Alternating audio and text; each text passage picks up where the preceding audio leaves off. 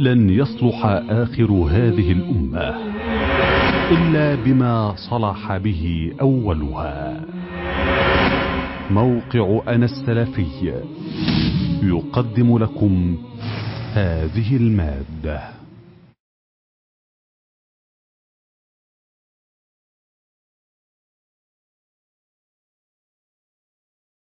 إله إلا الله.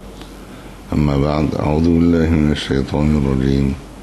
والذين لا يدعون مع الله إلها آخر ولا يقتلون النفس التي حرم الله إلا بالحق ولا يزنون ومن يفعل ذلك يلقى أثاما يضاعف له العذاب يوم القيامة ويخلد فيه مهانا إلا من تاب وآمن وعمل عملا صالحا فأولئك فأولئك يبدل الله سيئاتهم حسنات وكان الله غفورا رحيما.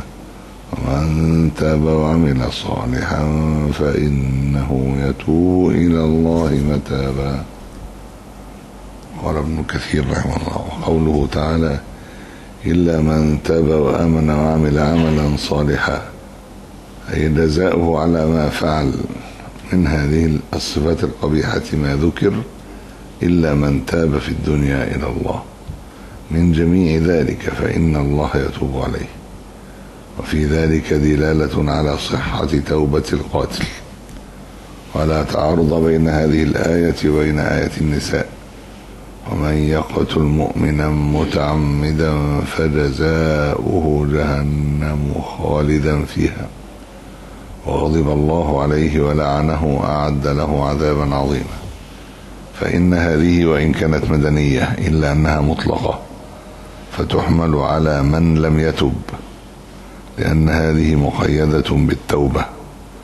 ثم قد قال الله تعالى إن الله لا يغفر أن يشرك به ويغفر ما دون ذلك لمن يشاء. وقد ثبتت السنة الصحيحة. عن رسول الله صلى الله عليه وسلم بصحة توبة القاتل كما ذكر مقررا من قصة الذي قتل مئة رجل ثم تاب وقبل منه وغير ذلك من الأحاديث. هذا هو الصحيح. وإن كان معنى قول من قال من الصحابة كابن عباس لا تقبل توبة القاتل معناه لا تقبل توبة.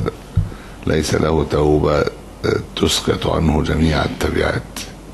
فإن عليه حق القتيل وهو لن يعني يسقط إلا بأن يرضيه الله من عنده. إذا أراد أن يقبل توبة القاتل وكانت توبة نصوحة. وقوله فأولئك يبدل الله سيئاتهم حسنات وكان الله غفورا رحيما. في معنى قوله يبدل الله سيئاتهم حسنات قولان أحدهما إنهم بدلوا مكان عمل عمل السيئات عمل بعمل الحسنات. يعني يوفقون لعمل الحسنات بعد أن كانوا يعملون السيئات. قال علي بن أبي طلحة عن ابن عباس في قوله فأولئك يبدل الله سيئاتهم حسنات. قال هم المؤمنون.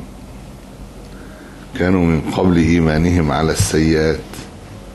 فرغب, فرغب الله بهم عن ذلك فحولهم إلى السيئات.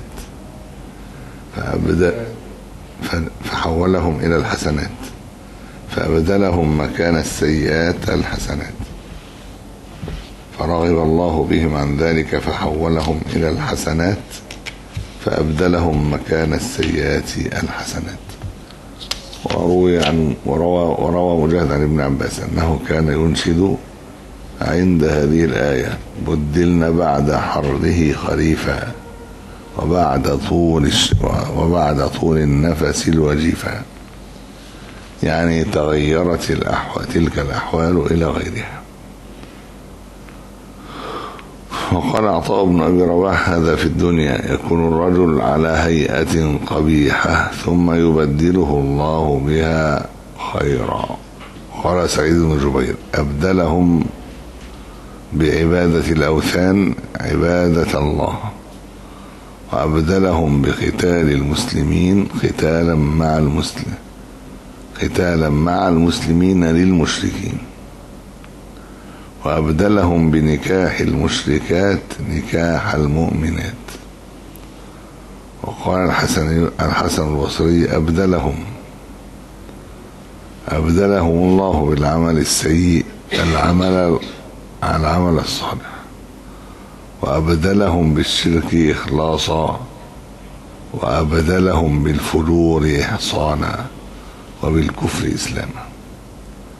هذا قول أبي العالية وقتادة وجماعة آخرين. القول الثاني إن تلك الحسنة أن تلك السيئات الماضية تنقلب بنفس التوبة النصوح. حسنات وما ذاك إلا أنه كلما تذكر ما مضى ندم واسترجع واستغفر فينقلب الذنب طاعة بهذا الاعتبار. فيوم القيامة وإن فيوم القيامة وإن وجده مكتوبا عليه لكنه لا يضره وينقلب حسنة في صحيفته. كما ثبتت السنة بذلك وصحت به الآثار المروية عن السلف رحمهم الله تعالى. وهذا سياق الحديث. رواه الإمام أحمد وهو في صحيح مسلم. عن أبي ذر رضي الله عنه قال قال رسول الله صلى الله عليه وسلم إني لأعرف آخر أهل النار خروجا من النار وآخر أهل الجنة دخولا إلى الجنة. يؤتى برجل فيقول نحو كبار ذنوبه وسلوه عن صغارها قال فيقال له عملت يوم كذا وكذا كذا. وعملت يوم كذا وكذا كذا. فيقول نعم لا يستطيع أن ينكر من ذلك شيئا. فيقال فإن لك بكل سيئة حسنة. فيقول يا ربي عملت أشياء لا أراها هنا. قال فضحك رسول الله صلى الله عليه وسلم حتى بدت نواجذه انفرد به مسلم. وروى أبو الحافظ القاسم الطوراني عن أبي مالك الأشعري قال قال رسول الله صلى الله عليه وسلم إذا نام ابن آدم قال الملك للشيطان أعطني صحيفتك فيعطيه إياها. فما ولد في صحيفته من حسنة محى بها عشر سيئات من صحيفة الشيطان وكتبهن حسنات. فإذا أراد أن ينام أحدكم فليكبر ثلاثا وثلاثين تكبيرة ويحمد أربعا وثلاثين تكبيرة. تحميدة؟ ويحمد ثلاث أربعا وثلاثين تحميدة يسبح ثلاثا وثلاثين تسبيحة فتلك مئة. إسناده ضعيف. قل قولي هذا وأستغفر الله لي قل هذه سبيلي أدعو إلى الله.